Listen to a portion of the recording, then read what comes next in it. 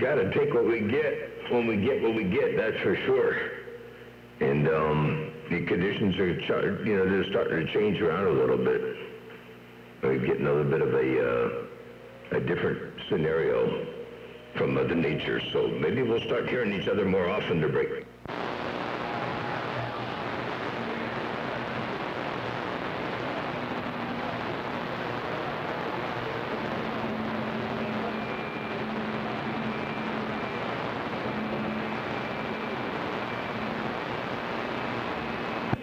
Well, that's mighty nice of Mother Nature. Ain't no doubt about that. Mighty nice of Mother Nature. Motormouth Maul cruising, they got down.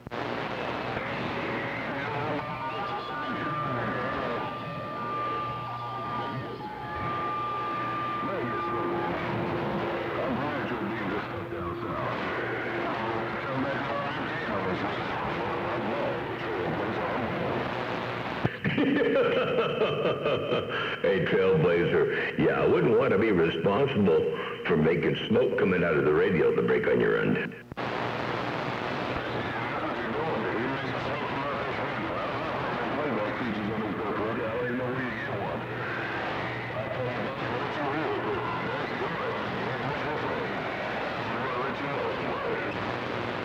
Fourteen, fourteen. Yeah, this is just a computer. It's uh, uh, um, an old, you know, IB, you know, PC, uh, PC, and I run uh, Adobe Audition.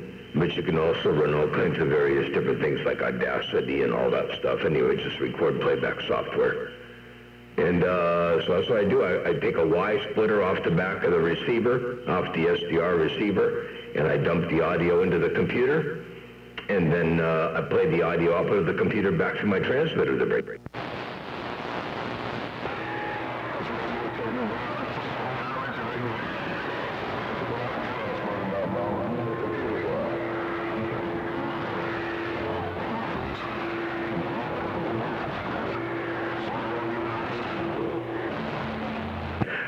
I don't understand computers.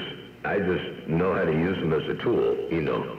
But uh, but yeah, it's, it's like I'm a car guy too, so I can I, I can uh, I can get into that. Um, but yeah, I, I, I can understand cars, but I can't understand parts of cars. Like for example, you know, I understand old school old school stuff, but this new new fuel injected, high tech tuning, chips, this, that, and the other. I don't know anything about that. But I, I can wrap my head around cams, compression, breathing, you know, exhaust, and, and, and uh, gear ratios, and transmissions, and power to weight ratio, and weight distribution, and chassis tuning, and uh, uh, and all. I, I can get into all that, but I cannot get into this newfangled, you know, computer controlled stuff. You would think that coming from me that that sounds kind of weird, but that's even though my Chevelle was fuel injected, you know, I, I, I had the uh, the old um, Edelbrock Pro-Flo uh, fuel injection system, but I they didn't have. I had big old huge monstrous heads on that thing, and they didn't have a a, a, a manifold for it. So I had to drill the bungs and put the fuel rails and get the injectors mounted in my manifold. Uh, but then I used the Edelbrock Pro-Flo system to break me. But anyway, I, I, I, can get into cars. I just can't get into the whole electronic uh, engine control stuff yet.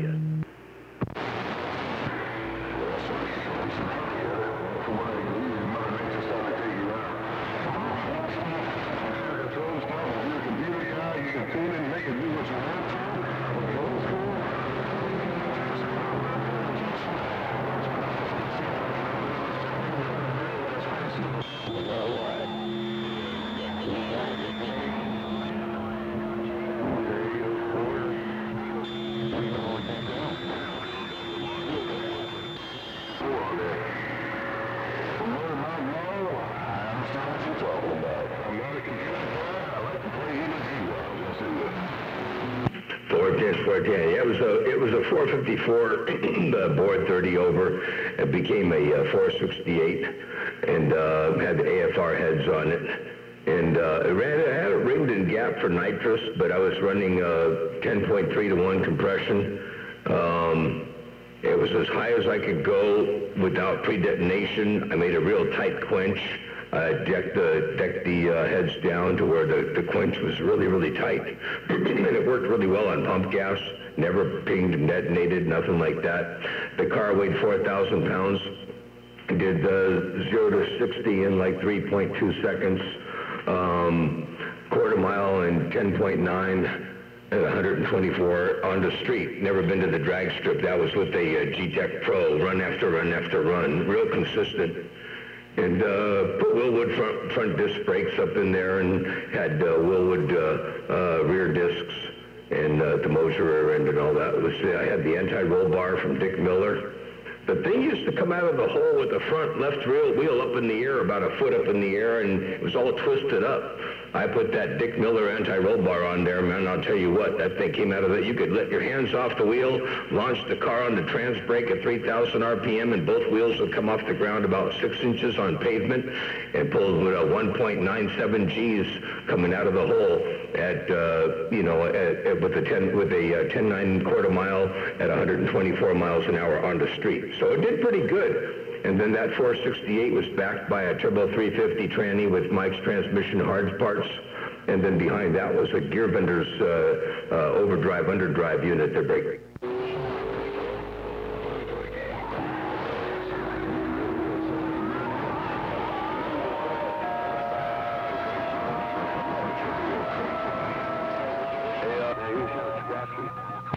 Oh yeah, yep. I wish I didn't let it go. I, but you know, I live out here on the ranch. I bought this 20 acres, and we got gravel roads and the dust. And um, you know, just to drive it in and out of town would be a pain in the neck. It would be all dirty.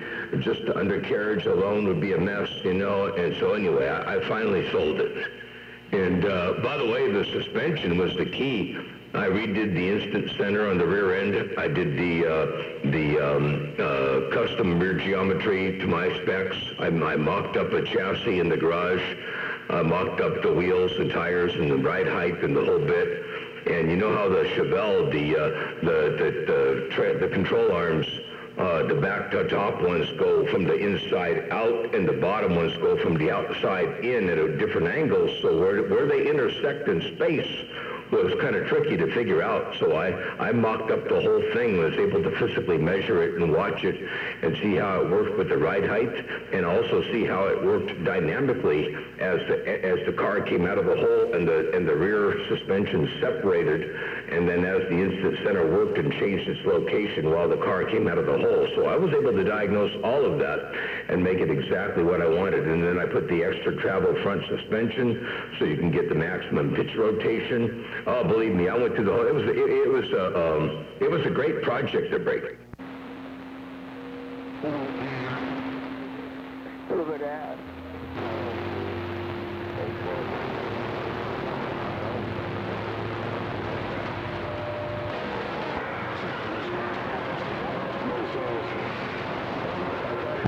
I think Mother Nature moved. That's what I get for looking down in. That's what I get for looking down there, um, uh, down in the uh, um, in the Magdol, I mean, uh, in the bayou, and trying to talk up there, uh, up up around uh, uh, Ohio. Motormouth Maul cruising this thing right here, right now. I got down breaker breaker about